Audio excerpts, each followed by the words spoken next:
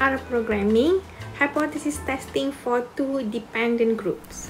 If the two groups are dependent and we want to compare means for both groups, we can use PET sample t-test.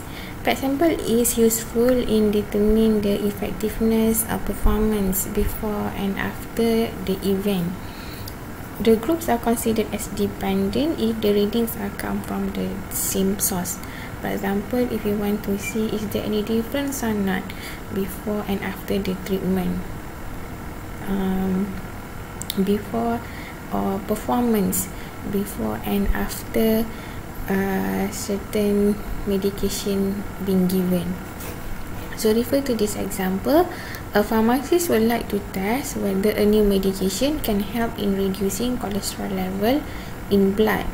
10 patients with high cholesterol level were randomly selected and their cholesterol level were recorded before and after the medication as follows. So we have these two vectors before and after. So we want to see the effectiveness of the new medication. Um, and then the reading is the cholesterol level in blood. Okay? So we copy first this data and then paste to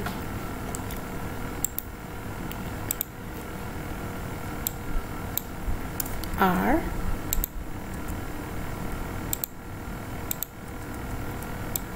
Okay and then run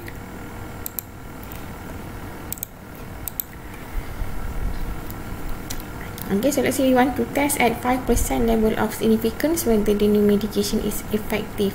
So the hypothesis statement for PET sample t-test the null hypothesis mu d equal to 0 so meaning that there is no uh, changes versus the alternative hypothesis mu d greater than 0 so in this case before minus after supposed to get a positive value on the average if the medication is effective.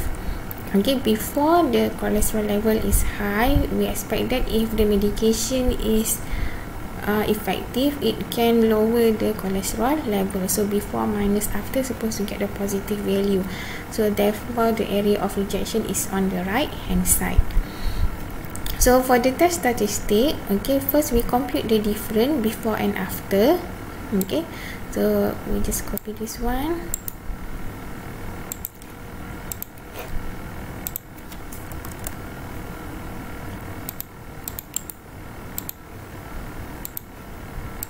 okay. So this is the output okay of the difference okay. Then after that we can compute the test value by using this formula okay d bar minus mu d divided by the standard deviation over square root number of different okay. So this is the formula mu d is equal to 0 because we assume that there is no difference. Okay so you can copy this one.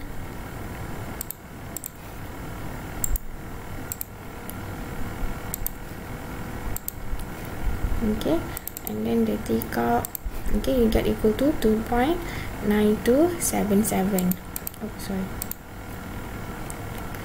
and then after that we find the critical value. Okay as I mentioned since the area of rejection is on the right hand side so the probability value is 1 minus the probability value from the t distribution.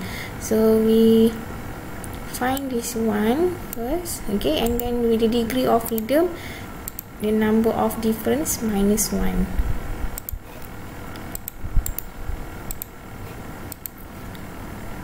run okay so we get the p value equal to 0 0.0084099902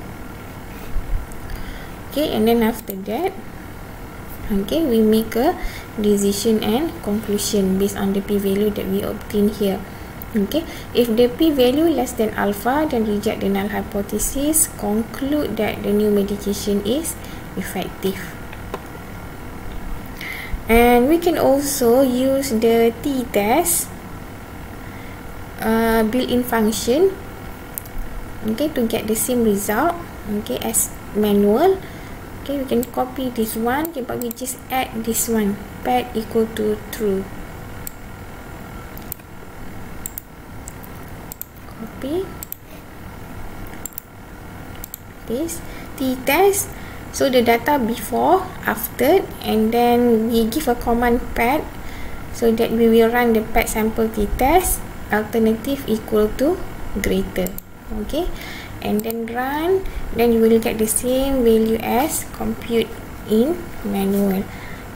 Okay? T equal to 2.9277 okay? Same as this one. And then the p value equal to 0 0.00841 similar as this one